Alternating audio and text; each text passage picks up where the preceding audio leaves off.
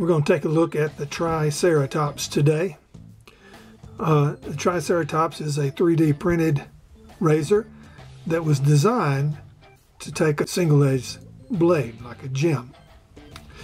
It's two pieces. The handle screws in. And here's the blade.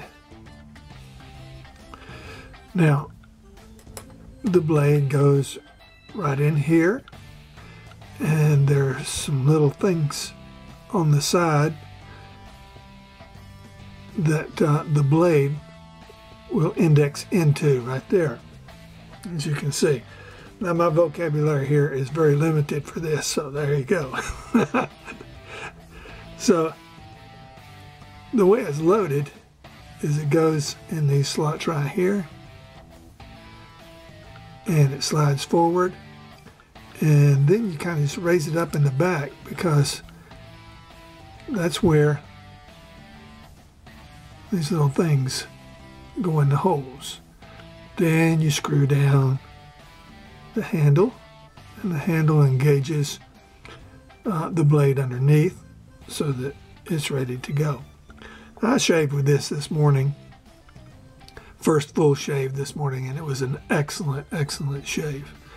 Uh, I used it uh, last Saturday as a cleanup for my second pass and cleanup for my straights. But uh, someone asked me, does that take a um, an injector blade? And I said, well, no, of course not.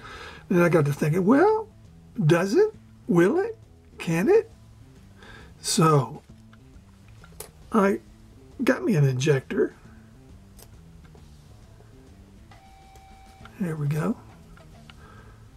This is a Persona. And uh, as it turns out, it will take an injector blade. You just have to be real careful the way you load it. Uh, I'm going to kind of load it upside down like this. Let's see if this will even show. Okay, going in the back. All right, my finger's kind of keeping it from falling out the front. But there are stops on the front. And you want it to kind of come where the stops are. And uh, it's a little bit shy of the stops right now, so I'm going to back it off just a little bit. And, uh, oops, tapped it too much. But uh, let it come down on both sides so that it kind of engages the stops and then tighten it up. And there it is. Now actually I did that because I'm going to shave with this on tomorrow's shave. You can look in the back there, maybe.